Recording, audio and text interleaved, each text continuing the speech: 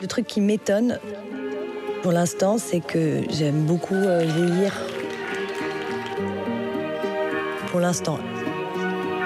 Alors que j'ai hyper peur de vieillir dans l'absolu. euh. On nous conforte dans l'idée que 20 ans, c'est génial, c'est la force de l'âge, c'est la beauté, c'est. Enfin, la beauté, en tout cas, la puissance de la jeunesse.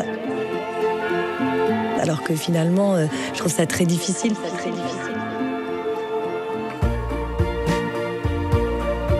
Plus je grandis et plus c'est riche, en fait. Et apaisant.